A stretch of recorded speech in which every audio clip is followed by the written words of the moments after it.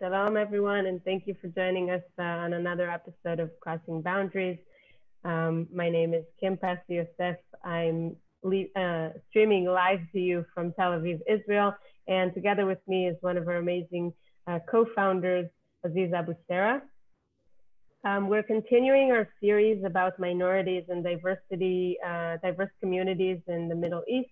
Uh, we're diving deep today into uh, the immigration wave, the Jewish immigration waves coming into Israel from uh, the surrounding Arab countries. And uh, Shai Goren, hi Shai. Hello. uh, one of our guides is going to give us a brief background, a little bit of history so that we have a better picture before we continue and discuss um, the subject with a few interviewees. So Shai, do you want to get us started? Yeah, sure. Let me um, share with you our presentation. Just let me know that we're on. Can you see it? We can see it. All right.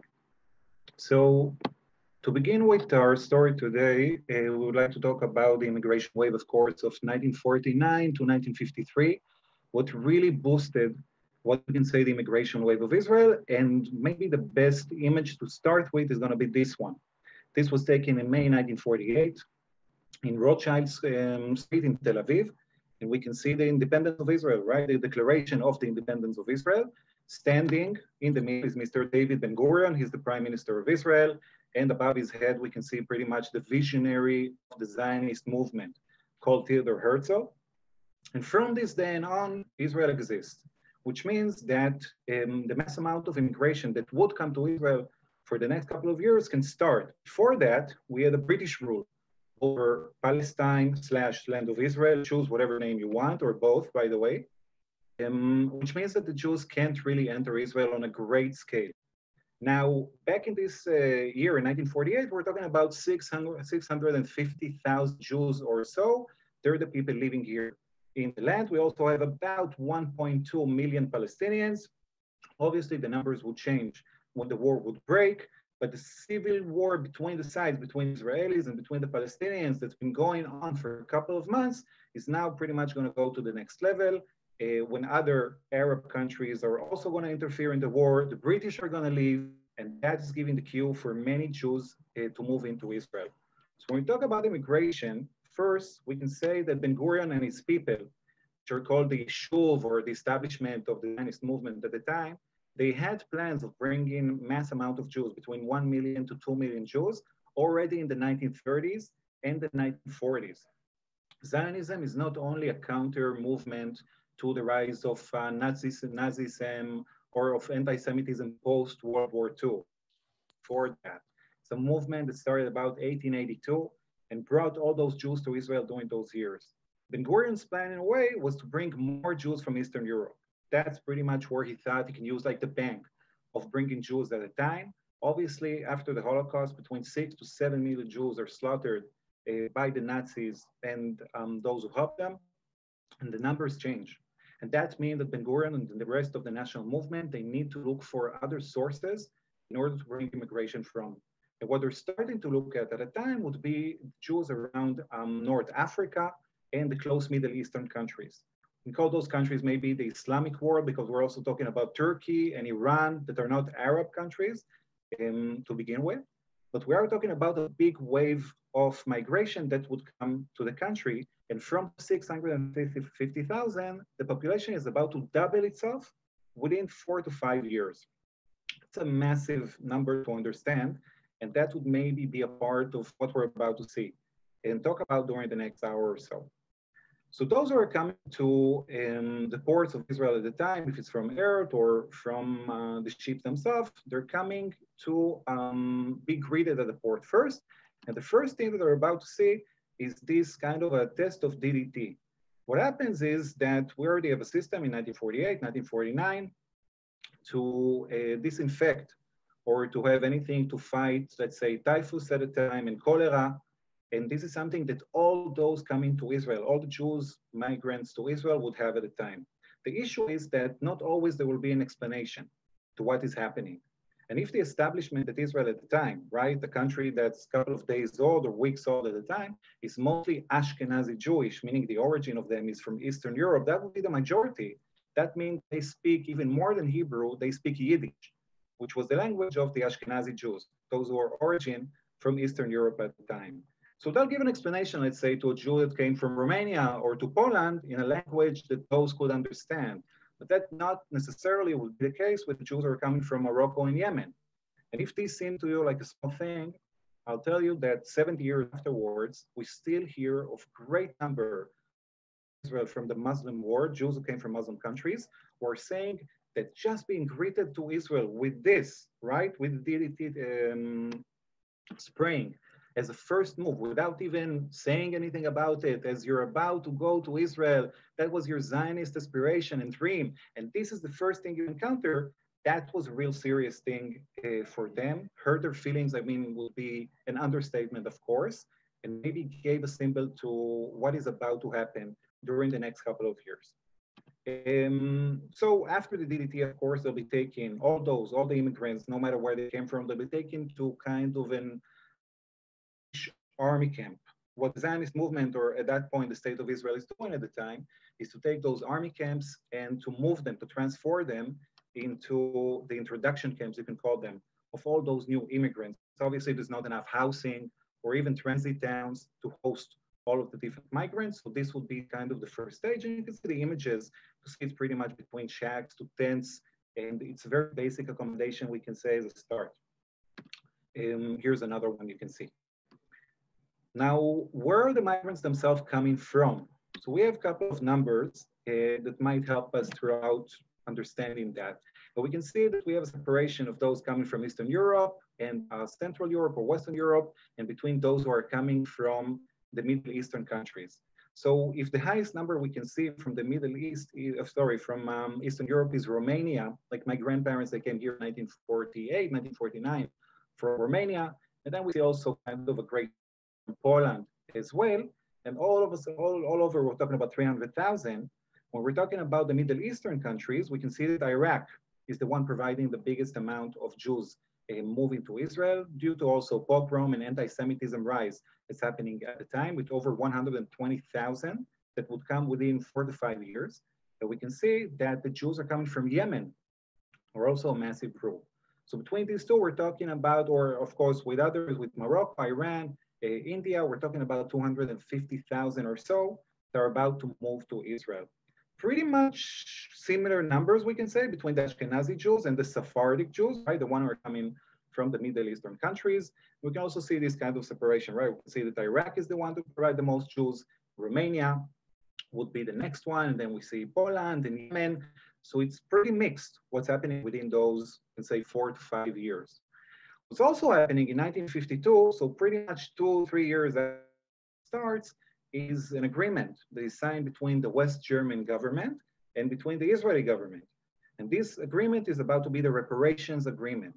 To make a long story short, the Germans apologize for the Holocaust, for everything that has happened between 1939 to 1945. They take ownership of what has happened and they pay twice. They pay for the first time to the government of Israel as an apology, we can say, or reparations right between the sides. And they also pay uh, individual reparations, which means they will go to the survivors of the Holocaust themselves. That means that if you're a Jew living in one of those camps from Romania, from Poland in 1952, money is going to be sent from the uh, West German, German government to you. And there's a good likelihood that you could leave those camps. So if all of the Jews were brought at once to the camps at 1949, Already in 1952, we see a, a switch with the Ashkenazi Jews, the ones from East uh, Europe, were about 40% of who are making those camps. The percentage in the camps is actually reducing, about to be 20% and even lower, which means the majority of the camps are going to be Jews who came from North Africa, Jews came from the Middle East, Iraq, Yemen, and uh, Morocco, Tunisia, Libya, Iran. We talked about those numbers as well. What also is helping to the Ashkenazi Jews is the fact that the establishment is from their group, meaning most people running the show in Israel are Polish Jews, are Romanian Jews, are Russian Jews, which means they kind of feel closer to them and maybe they will get more from the government at the time. or maybe they know people in Israel that have been living in the country already for about 30 years or 40 years. So they would try to help and kind of bridge in to um, the newcomers coming from Poland and Romania to get kind of a better housing. And that means that the people that are left behind in the camps themselves are mostly the Sephardic Jews. This is taken from propaganda movie of um, Israel, very early days of Israel, how the Yemenite Jews are brought up on kind of a magic carpet. This is not a very actual image we can say. People were really put in uh, planes on a huge number without any seat or anything like that, just to be brought to Israel at the time. And when they will arrive to Israel, they will find, I will say, pretty poor way of life. It is not something that anyone imagined before. We're talking about 200 people that are sharing one faucet. We're talking about a family of people, or a couple of families that are living within a tent. Um, nothing that they imagined before. We're talking about the fact that you can't really leave those camps, right? You have to stay inside of them. You can't work outside. You can only work inside if the Israeli government allows you. The camps have barbed wires around them, which is kind of an odd thing to see, especially after Second World War. The Jews brought Jews to Israel and they put them in these kind of camps. Um, even if they were giving them food stamps and food and all those things, still we're talking about pretty basic accommodation. We can see when the floods would come. I remind you that Tel Aviv provide the same uh, rainfall that London in the UK does. We're talking about an excessive amount of rain here that happens within short days. Then um, we would see that to happen. So this is pretty much the life uh, in the camps in the early 50s, and things would take a while before they change. Only after a couple of demonstrations, we can say visits that are um, happening from the leaders of Israel at the time, ministers and different parliament members, they would start to understand that these camps cannot really last, and will have to move into what we call ma'abara in Hebrew, comes from the word ma'avar, to transfer, uh, so Ma'abara would be a transfer town or a transit town between the camps and between real homes. So something kind of in the middle of the way. Um, we're talking about the lack of um, quality of life that happened in the camps at the time. We can also talk about um, the medical staff that was there. Very unlikely that you would see a doctor coming every day or every week. Most of the time will be the local nurses that are providing uh, the aid themselves. They will do the job of the doctors when those don't arrive, and they will deal with diseases um, that will be on a large scale actually at the camps, since um, it's a very crowded area, very difficult to clean. Then if one kid is getting one disease, and obviously the whole family and the rest of the kids in the classroom, they would be infected themselves. We need also to talk about what is called the Israeli doctrine, which would be um, kind of a way to educate the people the idea that Ben Gurion has at the time is that all those living in the state of Israel should share kind of one view, let's say, or one central view. And that view way before that in the 1920s and 30s. It's very socialist, it's very secular, it doesn't really talk about religion. And when Jews are coming from countries that are more traditional and want to pray, then the establishment doesn't see it in a very positive way. Uh, people are getting haircuts when they come to Israel, and a lot of Yemenite Jews actually are talking about how when they arrived to those camps, they were shaved from their sideburns, right, from their payas, from the side of the hair itself, which is a very humiliating, humiliating thing to do to a Jew. But the establishment felt something like we can't allow this kind of very, I don't know, diverse groups live one another by one another. We need to find something that we share um, to all of them. So that's also something that we can see here in the camps. And um, the rest, of course, which is the main subject that we have today, I will um, allow the rest of our participants to talk hmm. about. Thank you, Shai. Um, I did want to ask you one question before we uh, we go to our next uh, interviewee. Um, as an Ashkenazi, you mentioned that your family came uh, from Romania, and I know that I mentioned before you're a guide. How do you bring yourself to guide about communities that are not uh, your own, that are, um, I mean, how do you educate yourself? How do you bring stories? How do you connect your travelers to the stories that are not um, your own? Yeah, okay, that's a good question. Um, you know, if I talk only about the Romanian Jewish community that arrived to Israel, then uh, I'm missing out on maybe 98% of what is the Israeli story. And the story, I would say, of Israel and Palestine is diversity uh, between the different groups. So what I do with my spare time, I study uh, about anything that I could study, and I try to bring it to the people themselves. I think that coming to Israel uh, and having a tour here would be hearing all those different views and stories because you're not seeing even one thing. I mean, with Mejdi, what we do many times is a dual is a dual narrative, right? I'll be the Jewish Israeli guide, and then of course we'll have a Palestinian guide. Then I'm supposed to provide the Jewish narrative. For me, the Jewish narrative, I mean, there's not one Jewish narrative. It's like I know, between 10 to, to 50. And that's something right. that uh, we're trying to be sensitive, of course, and provide. Yeah. Great, thank you. And I'm sure that also. Yeah, I was going to say, having been on a trip with you, that's absolutely what happens. And we had a, quite a lot of fun talking about these issues, including including some of the stuff you brought up today. Great. So um, thank you, and we'll bring in uh, Tom Mehager. Um, Shannon, while Shannon's bringing him in, I'll just say that probably uh, our next interviewees will have additions and thoughts about what Shai was saying because um, we can all uh, rewrite our own history again and again, especially as uh, as Jews. Everyone has 2,000 opinions, um, but this was just to set the stage. Uh, so hi, Tom. Thank you for joining us uh, today. Um, can you start out with telling us a bit about yourself, uh, your own story, and um, you're the CEO of uh, Amram. Um, tell us about that as well. Hi, good evening, everyone. Masal Khir.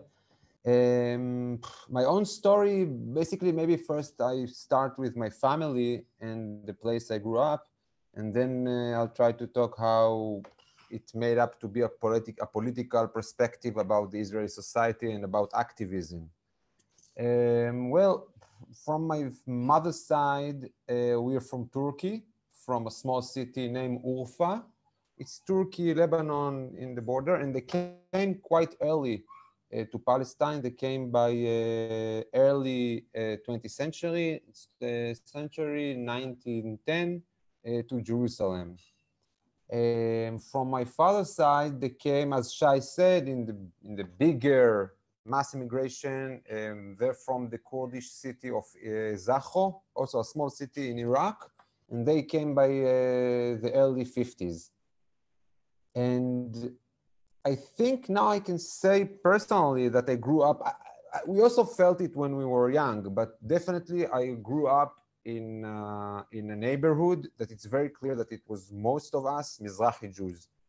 Uh, the neighborhood was uh, Gilo. It's actually a settlement. It's over the green line, a bit over the green line, but it's over the green line. It's so-called welfare settlement because mainly the middle lower class were kind of sent over the green line to, to upgrade their housing possibilities as a Mizrahi Jews. And this is where I grew up. Um, and I think as time goes by, I understood myself as a second generation, third generation Mizrahi Jew. Um, back in the reserve army, I uh, refused I refused to do something in the occupied territories. I was a commander or staff sergeant of a roadblock east of Ramallah, and I was told that the roadblock is for the sake of collective punishment. It was 15, 16 years ago, even more, by 2003, and I refused. And I was sentenced to jail for a few months. And I think as I started to be an activist in the Israeli left, uh, ironically, it was the first time that I, I, I understood myself, I saw myself as a Mizrahi Jew. I felt how the Israeli left, the way we talk about justice, and, and the people themselves, the activists themselves, how my own community is not part of this discourse. The way we think about justice, the way we struggle for better society is not part of the so-called left in Israel, meaning human rights organizations, uh, parties, uh, parliament members, uh, media, culture arena, etc. So basically, I might, I might say eight years ago or so, it's when I said my I said to myself, wait, something is wrong in the way we talk about justice. And then it's when I kind of went out of my own closet as a Mizrahi Jew to say, okay, I have my own perspective about what it means to be lefty in Israel, and it's different. Um, while my friends in the left consider the Mizrahi Jews as people who vote in a full consciousness, I, I would say no. I have to understand. I, I, I can understand my my community, the way it's think, otherwise about being about let's say justice in Israel Palestine. Um, maybe I would give us a short example about what I do now. As Kim said, um, I'm uh, the general director, the executive general director of uh, Amram Association. Amram is dealing uh, mainly with the affair of kidnapped children of from Yemenite, Mizrahi, and the Balkan uh, communities. So, it, Kim, maybe in a short, I will explain about uh, the, the affair. Hundred percent, yes. Kidnap. Yeah when you hear kidnapping, and I, I'm just assuming here, it, it, sounds like who kidnapped them? Did the Palestinians do it? Did the Arabs do it? Did the Jews do it? Who did the kidnapping? I, I explain. I explain. So first of all, I think I think to to to to, to understand the whole Mizrahi situation and politics here, it's to understand the assumption, the cultural assumption of this elite that Shai described later about the Mizrahi Jews the whole community was kind of a threat to the, to the Israeli ethos, to the Israeli project as a Western project. Since our families came from um, Arab states, Muslim states, etc., it was a, it was a clear-cut destination of the institution to say that we must not be an Arabs. We must distinguished ourselves from the communities that we came from because this is a threat to the whole ethos. Remember the phrase villa in the jungle. Israel is the villa and the whole around place is a jungle. So of course it's racism up until today towards Arabs, but our families also came from those places. So we also now don't we don't want to be part of the jungle. We need to prove ourselves that we, we are part of the villa. In the context of of the kidnap, the Yemenite, uh, Mizrahi Balkan kidnapped children. So first of all, if we talk about the cultural assumption, it's very clear that very high rank people from the Jewish agency and from the welfare institutions and, um, and, and a lot of institutions and bodies in Israel, they said that the generation of the parents is bad parents they don't know how to raise properly their children when it comes to health, when it comes to education, etc. We have a lot of quotes. So let's let's understand first the assumption of, of villa of the jungle, of parents that can take care of the children. This is the assumption. And from then, and from this point of view, there is a pattern that we can locate up until today of thousands of children that were taken from their parents and, and they never returned. They were never returned. The pattern was that usually the parents were told that the baby should be separated from the family uh, for different reasons. He's sick, you can't be around him, etc. And other after day, two, three days, the baby is sick without any indication of body, grave, certificates, etc. In many cases, parents said the baby was okay. No one told us that he's sick, that he's about to die, etc. After a day, after 24 hours, he suddenly died. In ages, sometimes in ages of, of a few months, a year or so. And up until today, it's very important to understand that families actually looking from for the brothers, sisters, uncles. People ask, well, what happened with the children? People writing, to the, to the courts, to the Israeli registration administration, to different bodies. People still, and that's what we do actually in our, that's what we are trying to do. First, we are trying to collect testimonies from families about the circumstances, circumstances of the, let's say, this, the separation and then the kidnap of the children.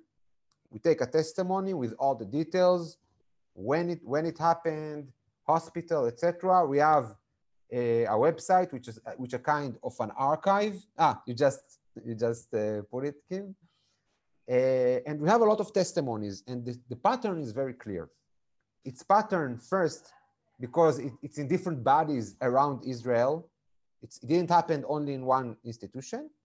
And second, because it's not in only, let's say, in a period of time of, or, or of a month or two months, it's mainly during the 50s, but also a bit for, before and a bit after. So it's along a years that children were simply disappeared. I, I've heard those stories before, and I'm wondering, I guess, one, it's surprising to me that until now families can't through court be able to get that information. It's it's mind-boggling. But second, have you had any success in finding people? And if so, what what was going on? Did the kids grow up believing there were kids of this family that took them, I assume, to raise them, an Ashkenazi family that took them to raise them, or what, what exactly happened? Well, first, as to the court, uh, from the point of view of the Israeli institutions, there were certain uh, committees, investigations committees, and they gave answers for the family. But the, the, the answers are very shallow, are very like, if you open a file, you can see that there's a lot of mistakes. And basically, in most cases, they claim that the baby is, that the baby is dead, but they can't even tell where he was buried, according to their own, their own uh, narrative of what happened. They, they didn't say to most of the families, the baby is buried here for sure, and we can open the grave. And so no certain answers in many cases. Uh, the opposite, there is different, different indications of, let's say, testimonies of uh, nurses that actually saying that babies were taken out of camps while they were alive and the parents were told that the baby is dead. We have few testimonies. Again, different nurses from different camps. There's no way that they will coordinate between them the story. About what you ask, um, there were few cases. In, in many cases, uh, the children themselves didn't want to, to let's say, uh, discover their own parents. It was too complicated to go out against, if it's against the parents. Um, and also, we, we are not sure. I don't, I, I can't tell again, give you answers from sure, for sure, because from our point of view, the body that should give an answer is, is the state. I don't know what happened with the children. We, we might also suspect that some children were sent abroad. We might suspect, we have few indications about it. But again, from our point of view, let's say the last adult that hold the children was representations, rep representatives of the Israeli bodies, institutions. Again, welfare, health, etc. That's why Israel should give an answer. And if Israel don't have a proper answer for each family, Israel should um, declare a kind of recognition and apologize uh, toward the community. This is the, to say the least, regardless, uh, you know, uh, taking to court certain people. That's, uh, it looks like that, that won't be the case. But I think that we should talk, we should talk about this affair in a broader sense because this is only one affair that reflects the racism towards the Mizrahi Jews. But at the same time, we can talk about tracking in the education system. Again, the assumption, and we have a quote, that Mizrahi young Jews can think abstract.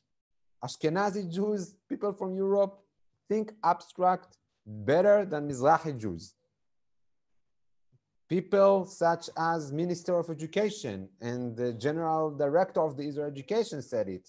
People from the Israel Academy said it.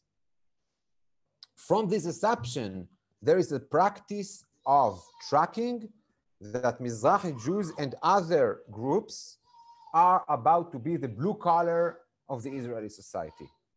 While Ashkenazi Jews going to be sent to be to study theoretical studies that allows you later to go to the university, to the academy, etc., and from there again to be part of the Israeli civil society or uh, media or, or culture arena, etc., Mizrahi Jews are about to be uh, lower classes, and it's important to understand that it's a kind of mechanism that reproduces itself from a generation to generation. Up until today, there are researches. It's very clear that the tracking creating gaps between Ashkenazi and Mizrahi Jews. Of course, there's other factors as well, but the tracking, the, the racism in its institutionalized way, it's here, it's still here. It's reproduced from a generation to generation. That's, those, I just gave two affairs in order to understand, in order to explain the Mizrahi uh, struggle, the complicity, etc. Yeah, and just a reminder when we're talking about Mizrahi Jews, like Shai said, we're not talking about five or ten percent of Israel population. We are talking about half of half of the country. That's Which, true, Aziz. That's why that's why I would say that it was a threat to the to the to the, to the ethos. Well, because can... Mizrahi Jews are by the 50s, Mizrahi Jews are about to be majority among the Jewish society. And I can see that. I mean, we we look alike. We look like we could be brothers. So, and we spoke the same language. We understood each other culture perfectly, while somebody who came from Romania didn't. And the only way to be in control was to say you two should hate each other. And it's ironic because today Mizrahi Jews and Palestinians are much more against each other than Ashkenazi Jews and Palestinians. So in some ways, the state did succeed in making us think that we don't have anything in common with each other. Even though we listen to similar music we eat similar food we we have so much culturally speaking uh, that unite us we we today see each other more as enemies than with Ashkenazi Jews which which you know i'm not trying to say we should all unite against Ashkenazi Jews. I'm just saying this division has worked it has worked this is one of the main uh, kim do we have like a few more minutes yeah, I'll just say that if anyone has questions for Tom, then feel free to ask them now. Um, and go ahead. Shortly, shortly, uh, like to, to say something about what Aziz just said. For me, this is one yeah. of the important questions. How come that two communities that used to live together to, for hundreds of years and used together live together quite successfully without making it a romance? It was, let's say, it was never a kind of hatred that happened in Europe against Jewish, never here in this, this, this uh, area and the region. How come they became so hostile to each other? And I think there is an interested, interesting uh, researches about the Balfour Declaration back in, in 1917. Uh, the different reaction to the Balfour Declaration, how for, for the, the, the, the classic Zionism the, the Zionism from Europe, it was a success, while the local Jews back then, so-called old, old communities, the, the, the Ashkenazi Jews, them old communities, said Balfour Declaration might be a danger to the way we live together now.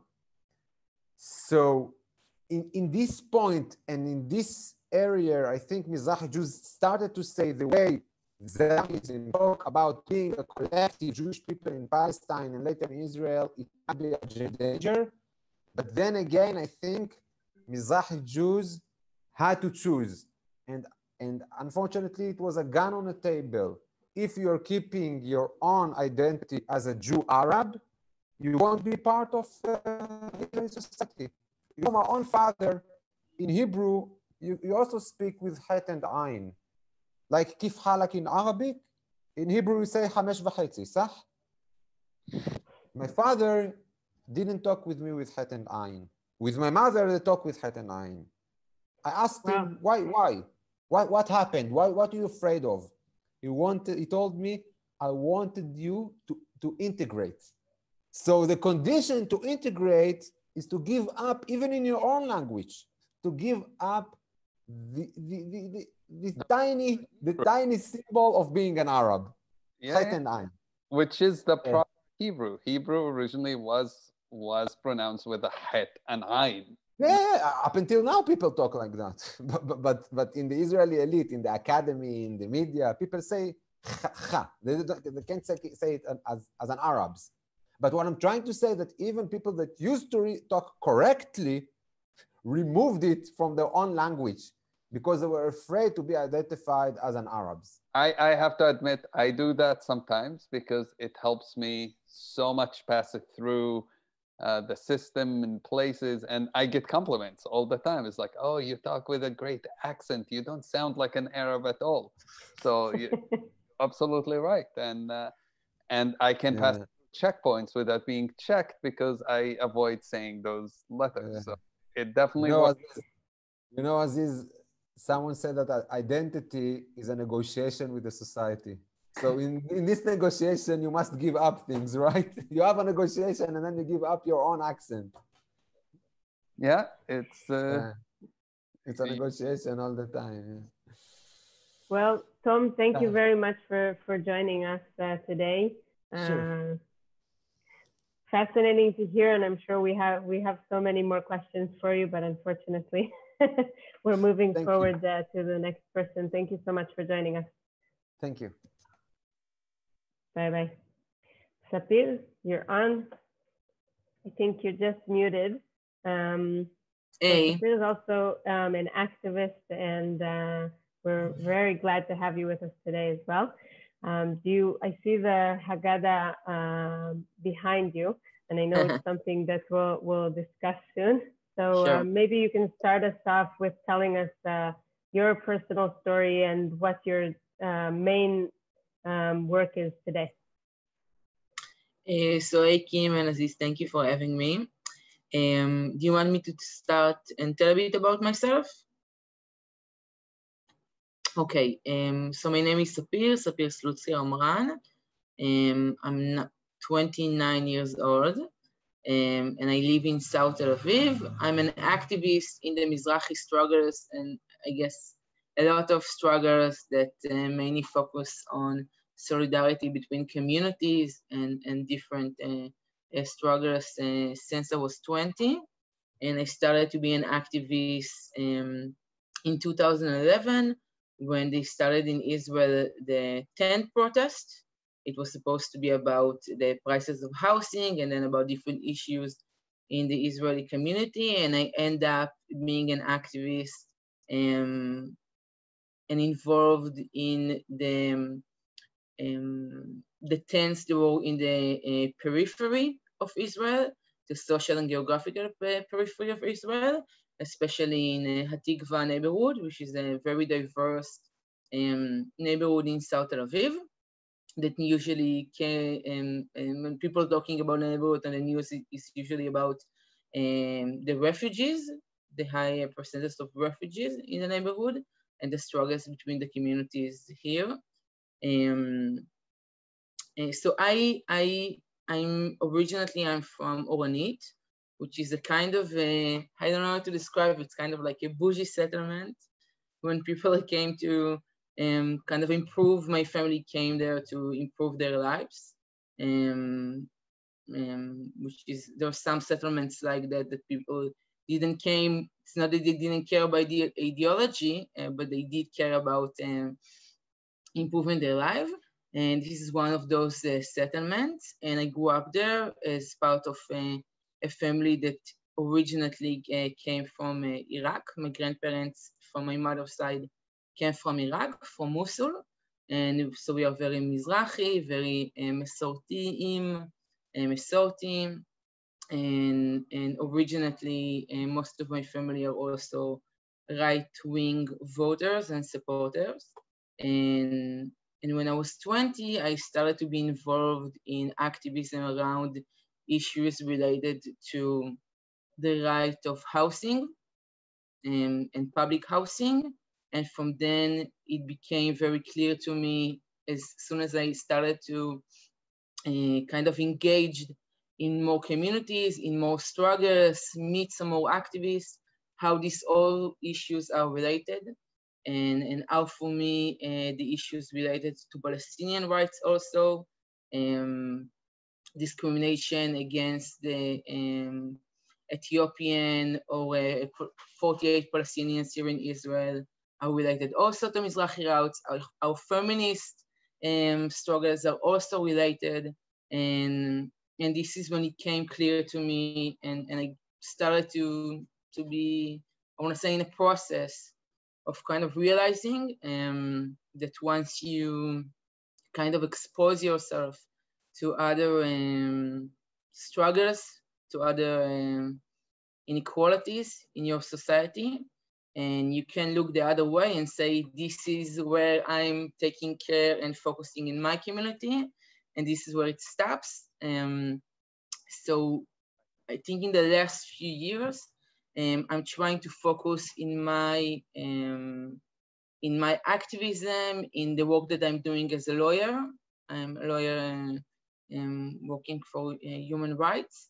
I'm trying to focus specific on the communities that are um, less privileged and the communities that are struggling, the communities that kind of like we can't uh, don't don't get the the most um, um, focus on on Israeli media and obviously in the mainstream and and the international media and then also in public and realize and try to understand and organize around those issues to understand how we can support uh, them and work not for them but with them in kind of a perspective that how, how we can organize of doing um, and pushing justice uh, but also helping people with charity when needed uh, so this is my main focus uh, now, and I guess we'll talk about it a bit more. Yeah, I, I actually one of the things I saw on your uh, um, bio is mm-hmm. Uh, actually one of your photos is you taking photos with the Israeli Black Panther, and I, mm-hmm. I when we say Black Panther, Americans will think of Black Panthers in America, and it's not mm-hmm. the same thing. It's it's a different uh, different community. It's not related mm-hmm. Uh, so maybe one you can briefly explain that. But tell us about who are the Black Panthers in Israel, the Israeli Black Panthers. What, what's what's their mission? So I think that if you're talking about just a second, I have a plane crossing here. They're going back straight to um, isolation, so I don't feel very bad about it. Um, so it, the part of the, the things that came very clear to me as an activist during those years that we always also in the Mizrahi struggles, but also in, in different struggles, we always think like, what should we do? And we're starting from the beginning. You know, we always, a lot of people think when they're starting activism, they're starting organizing, they're thinking about what should we do? And they're kind of like I know to say kind, kind of like bummed out and, and, and feeling very uh, unhopeful about uh, the chances of organizing because they don't know enough about the history of their own communities, about the failures and how we can learn from them, and also about the successes. And, and for me, if you're talking about, and I will explain about the Israeli Black Panthers, but for me, in especially in the Mizrahi struggle, we have to learn more because the narratives, and, and Tom talked about it a bit before me, uh, the narratives that are told, the stories that we are told about um, the struggles of our communities, um, and sorry to say, but but some of them are completely bullshit, and and and are just um, you know custom made to um, to push the the narratives of the Israeli establishment. Doesn't say that it's true and doesn't say that it's that it's something that the the, the own communities wants to tell to to their you know to their um, um, next leaders of the community and to the world. So the Israeli Black Panthers, I think that not, not a lot of people know about the Mizrahi struggle, but less of them know that, that during the 70s, since 70, 71, um, there was a community that started um, in uh, Jerusalem. Uh, they started to organize um, to become the Israeli Black Panthers. And that group that became one of the most important, influential um, grassroots um, movement in Israel and since the establishment on Israel in the Mizrahi struggle, but also in all civil um, civil rights struggles in Israel, um, began from a, a, just a small group of young Mizrahim. Mainly, most of them were uh, from Moroccan descent, but it was kind of mixed. Um, that kind of bond with the Palestinians in Jerusalem, but also with some uh, leftist radicals um, that kind of told them about the Black Panthers and the civil rights movement in the States. And they were very inspired about those issues. And they started, they didn't, you know, some when we're organizing now, we're saying, okay, okay we're gonna start a movement and then we're starting to organize. And, and it wasn't like that. They just, they were very um, frustrated from the situation in the neighborhoods. They were living, you know, if people know kibbutzim, they were living um, um, the amount of people that was in, in, some of the kibbutzim in Israel, the same uh, uh, number of people was in one building. Um, um, in Jerusalem, in, in some other uh, poverty um, neighborhoods. And they started to organize about the housing situation, about police brutality, um, about uh, not be able to walk because they suffered from discrimination, uh, about not be able not being able to um, to learn in school, only to go to a professional school, not be able to get a you know um, a decent uh, degree, and and they started with one demonstration um, against uh, um, the mayor of uh, Jerusalem back then. It was in 71. Um, and from that, people asked them, who are you? Like the, the, reporters came, you know, and they asked, who is this group that organizing this demonstration? And they said, we don't know, like we're the Black Panthers, the Israeli Black Panthers. And this is how it began. And, and, and people also describe them, like the reporters describe them as you know, they're acting like the Black Panthers. And so this is how they got their name, and from then they started to become uh, to become a movement, a grassroots movement that spreaded all over Israel in the neighborhoods, um, and became very influential. And they, you can see behind me, um, last year uh, we issued the Passover Haggadah, that the Israeli Black Panthers wrote in 71. And they actually, uh, they didn't have even had the money for a the typo machine, so they, they stole it from some um, um, um, like Ashkenazi Institute and and and type the the Agada and there in, in uh, for those of us that knows the Passover Agada, they did it exactly at, at the same uh, spirit of the Agada. They wrote about discrimination and what they need to go through as, uh, as Mizrahim in Israel. And they decided to spread it and, and kind of like fundraise money through it in their communities um, and invite people to join them to the movement, but also to um, hunger strike that they did in the Western Wall um, they said, okay, we, we're not getting any public um, international attention. We will go to the Western Wall, and then the police won't, uh, you know, uh, uh, beat us because it's like a holy place, and and the media will come also. Um, and during the years, uh, some of them uh, continued to have some relationship with um, Black Panthers in, in the States, but in all over the world. Um, but this was one of the main, um, really like, I, I think that I just want to describe how do people talk about it in Israel and the different narratives, just to give an example that um, when I was taught about the Black Panthers um, as a, as a, at school, I think in high school, um, in the um, educational book, they wrote a very small paragraph and we're talking about, again, one of the most important uh, um, um, movements, grassroots movements in, in Israel. And, and they wrote um, that um, riots based on feelings of discrimination. Um, like it, there wasn't a, there wasn't a discrimination. They were feeling depressed. Yeah, they're not even this is why they the did. full, yeah, the this is why they did riots. They deserve.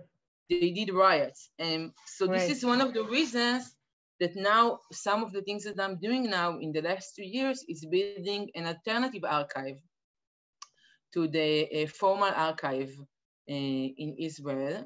Um, and this is an activism archive when we do, we're documenting and collecting materials from activists about the Mizrahi struggle, about queer struggles, about everything and anything uh, actually. And we're working now on building, um, uh, and we need to find raise money, but we're working on uh, the, the goal is to build a website that will be free and accessible to everyone. And then we can tell our stories and our narratives by ourselves. We can upload everything so people can see, the world can see, researchers in the academic uh, or, or activists, everyone can see uh, what really happened during um, um, um, the history of Israel. And then it's, uh, and, and it's gonna be uh, our way um, in the Mizrahi struggle and about other struggles to tell our story the way we want to tell it and without anyone interfering in our history and shaping it in the way that is you know good from the good for the Israeli establishment. Right. And um, Sapir, I'll just say that in general, uh, there's no doubt that the Israeli education system is lacking in terms of uh, telling the Mizrahi history. Um, in general, the immigration waves are not really discussed um, all that much, except for the maybe the first two Ashkenazi waves. Um, I have to say, as someone who studied uh, her MA in immig- immigration and social integration, that it was the first time I actually learned about all of these, and that's a shame. Um, but you also were telling me that uh, you're planning on having the Haggadah in English, so that's something uh, to look forward to. And um, just because of the time, we're going to have to cut you um, a bit short. Uh, but uh, say thank you for joining us today. And I think that you're working on amazing projects and keep up the good work.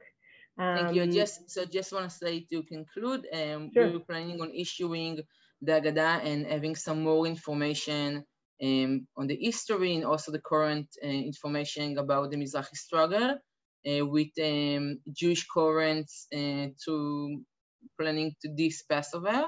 And I also want to say that I'm now a part uh, of building a, a Mizrahi feminist movement, and I'm Shovrot Kirot, Breaking Walls, and we're working now on the archive, but also uh, campaigning and organizing communities in related of issues of women and poverty. And I will be very glad if people will want to um, hear from us, connect with us, hear a bit more if you're coming to tours, or if you want to hear some more perspectives about the Israeli society and how the way we see and want to talk about solidarity between struggles, the Mizrahi and uh, the Palestinian, of course, together. Uh, we will have to give this information and connect with you. And thank you for having me. Thank you. Thanks again. Bye bye. Um, and I think we already have Liel on with us. Hi, Liel. You're still muted. There we go. How are you? I'm good, and you? Very well. Um, Thank you very much for the invitation. Happy to have you with us. Uh, Liel is a good friend and also a guide. Um, maybe some of our listeners have uh, have met you here. Um, so let's just jump right into it, Liel. Uh, you said you have a short presentation, or if you want to start with your uh, with your own story, then uh. Yeah, I thought about um, thought about starting with some pictures because um, I must say that when I'm invited to speak about uh, Mizrahi identity or Mizrahi origin, I'm not really feeling comfortable because I didn't identify so much with this uh, throughout my life, and I think it's a part of my family story and uh, of it mainly trying to in, to move in between east and west. And uh, i think if i'll give this presentation people understand what, what i mean by it so i will share screen would that be okay no sounds will be good Absolutely. good so when we speak about Eastern Jews, we need to really acknowledge the fact that we're speaking also about North Africa. And it's west from here, and uh, my family specifically is from, uh, from Libya. However, I understand this conflict in between East and West because I felt it throughout my life. And in the fact of my family basically in conflict within themselves in regarding if they are East or West. And this is mainly between those that moved to Italy and those that moved to Israel. Um, but if we think regarding the history, uh, we must say that the history of uh, the Jewish community in Libya is very, very ancient. It's connected to the Babylonian Exodus or Assyrian Exodus, and then to Roman uh, Empire. So we mean thousands of years of, of presence of uh, Jewish community within Libya, having synagogues, uh, having a vibrant community life. Um, it's being said that uh, throughout hundreds of years, Jews were a central part of Libya, a central part of the community. They were the elite. They were the most educated ones. Even the Ottoman Empire, there were those to, to basically um, being a part of the government, the judicial court, and even having their own, uh, their own uh, schools. Um, the Libyan Jewish community is kind of a, a conglomerate of Jews that came uh, thousands of years ago, those that uh, ran away from Spain in the, uh, the end of the 15th century with the Jewish exile from Spain, and those coming directly from Italy in order to make money because it became a center of trade in the, in the Mediterranean. Uh, so we mean that by the beginning of 20th century, you're talking about dozens of thousands of Jews uh, living or in the villages outside of the cities or specifically in the capital. Uh, and in the 20th century, we start seeing a uh, problem that they have. In the beginning, they thought that they are a part of, uh, of Europe. They have the Italian citizenship. They studied in Italian schools in many aspects, they try to divide themselves from the local Arabs. And it's something that I hear a lot. I heard a lot from my grandfathers that they said that they are not Arabs. Arabs are those that live outside of the city or those living in the streets or those that are not Jewish or Christian. And we are Tarablusi or we are Libyans or even we are Italians. We are not Arabs. However, Italians themselves, eventually in the 1940s, uh, made this definition very clear by uh, declaring uh, all Jews from Libya to be uh, sent into death camps. And there is the famous uh, Holocaust stories that came from Benghazi, which was the capital of Libya at the time, directly to the death camp of Bergen-Belsen. And there were hundreds of Jews from Libya being killed. And if we think of North Africa, not like the Jews that come from Arab countries uh, uh, around the Middle East, we see that we have also a very clear Holocaust story engaged identity and a trauma that relate to the fact of them being a minority within uh, uh, a European colonial uh, country.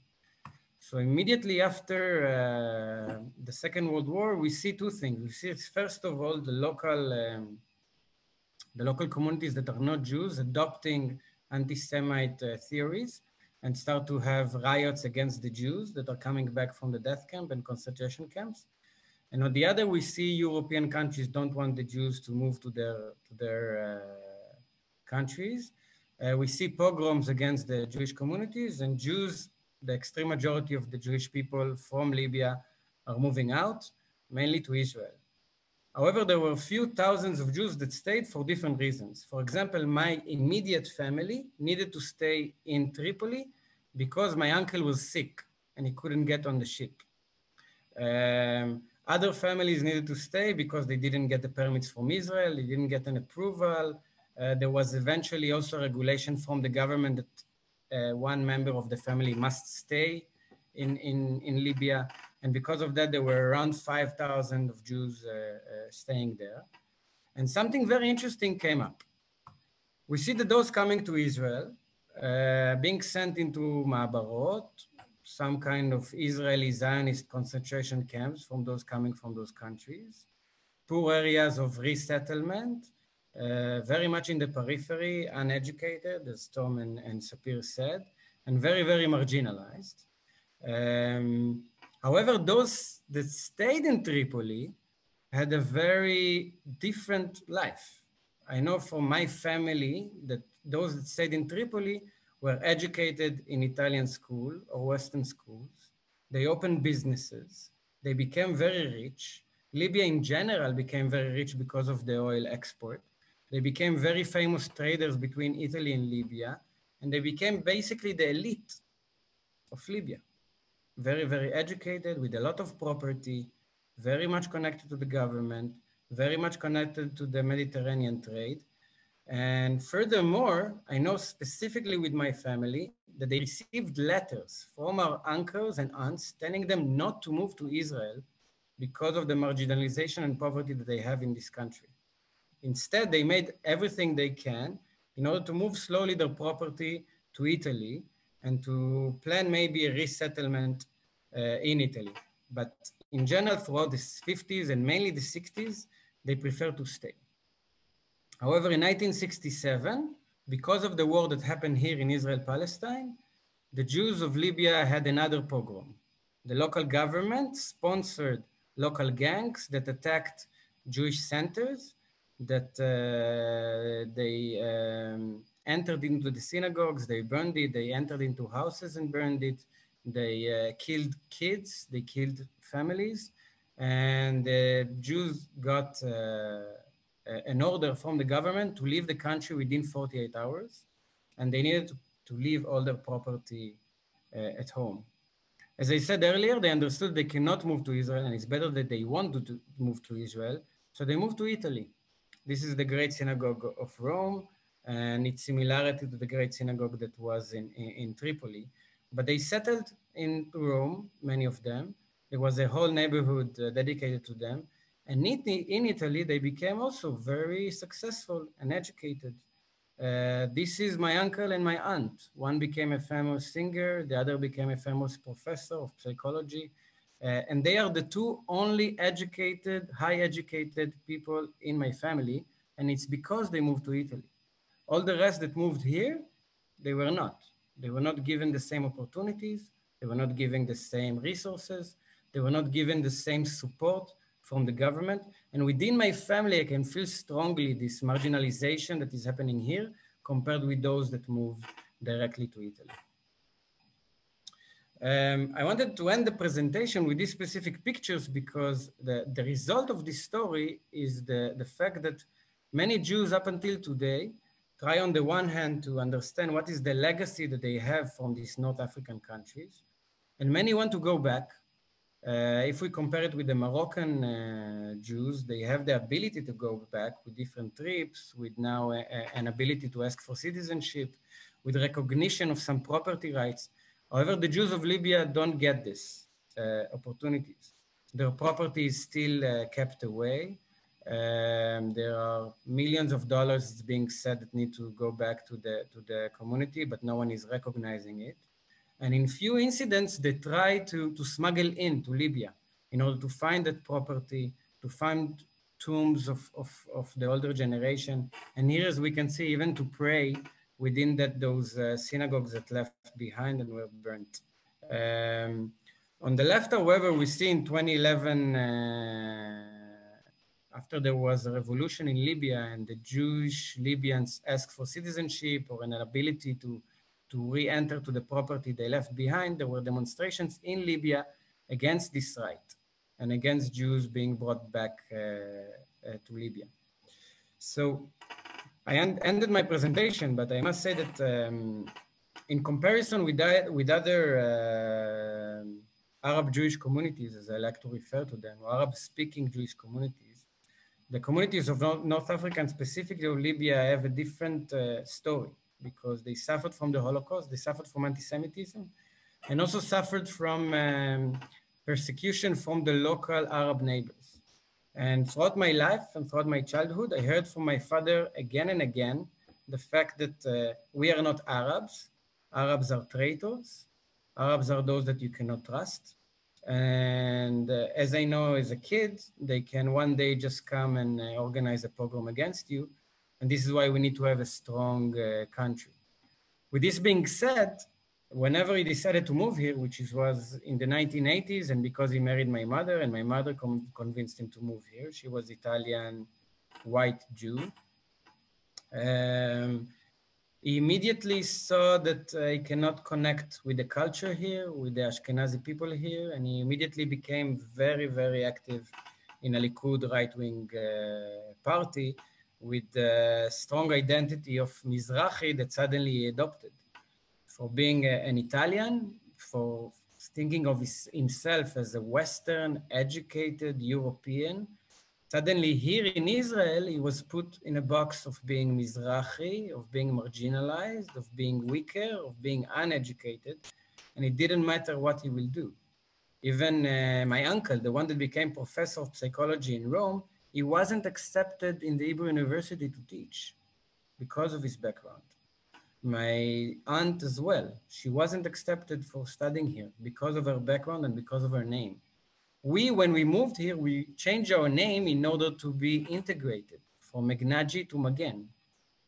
And for me, because of that, it became easier to show myself as a European Jew instead of Mizrahi Jew. And the fact of how I look and my skin color maybe had also uh, helped me. But uh, I, I, saw throughout my life this, uh, this marginalization that is very central and how generation and generation away, it's still a basic part of how Israeli society and Israeli economy uh, is being held and controlled.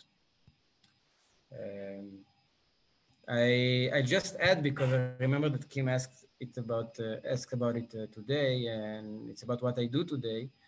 Um, I'm not active in the Jewish Libyan community. I must say that I don't find myself there, and my father is also not finding himself there because it's held and controlled and led by mostly the Jews that came in the 40s and 50s, and it, we have different stories.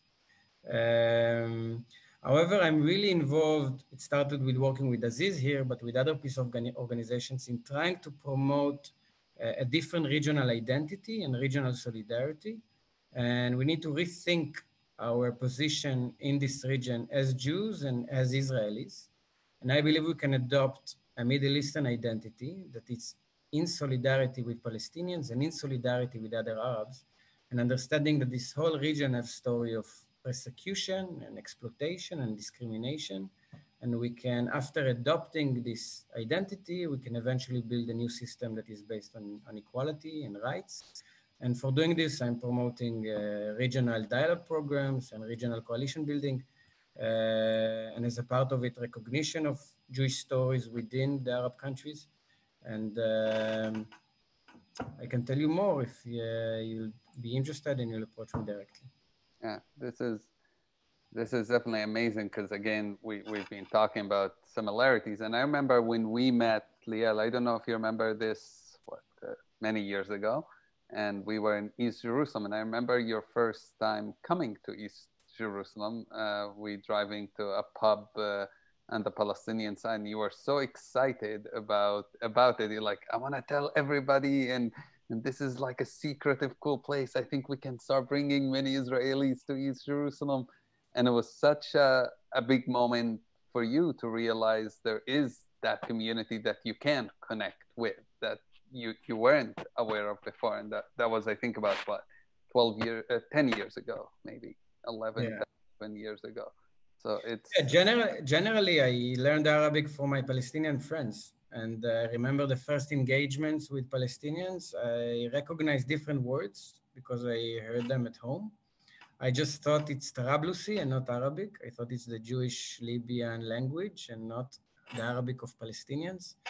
Um, it's something that uh, eventually today I understand what they are saying in family dinners just because I had a relationship with Palestinians. I, I wouldn't have the same opportunity, and my sisters don't know Arabic because they don't have the same relations.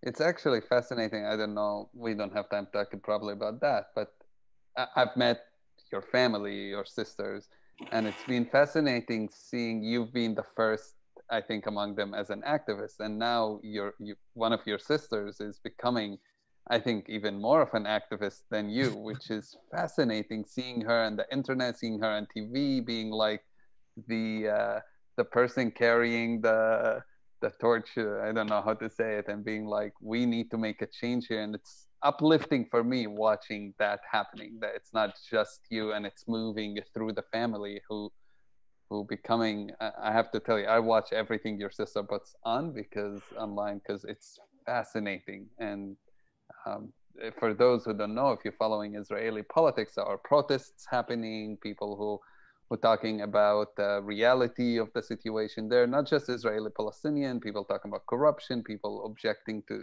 to the social structure. And uh, liel's sister has become one of the people who are extremely active in that and I know you are obviously as well. Thanks, Aziz. I think what's also interesting is that in the different interviews that she brings, she she she gives, she brings up this Mizrahi special story, uh, and people are kind of shocked by it. They, she looks kind of like me, and suddenly she gives this Mizrahi story, and people are kind of they cannot put us in a specific box, which is something very, very important regarding the racism or the, the, the stigmas uh, and stereotypes that still exist in Israeli media and public debate. And you know, next week we are talking about from a minority to a movement, and we we're talking to ALLMEP Alliance for Middle East Peace, and it kind of connects to that because this is this is a question we all having is how do we turn what we do into a mass movement? And I think bringing the Mizrahi community and not to have the peace movement being the Ishkenazi thing or part of the Ishkenazi thing, but really bringing in the Ethiopians and bringing in the Mizrahis and bringing in the Russians who, you know, all are often seen as the hawkish anti-peace communities. And I, I refuse to believe that's how we should categorize people anyway. I think that's the only way eventually we're going to be able to break through.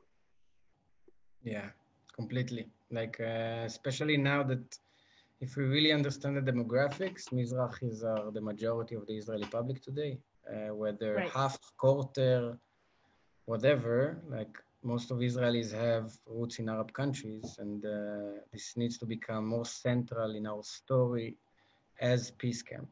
Um, Hundred yeah. percent. And when we were thinking about the show, I mean, I know that our series is talking about minorities, and we know that this is definitely not a minority, but it's a story and a group of stories that is not spoken about enough.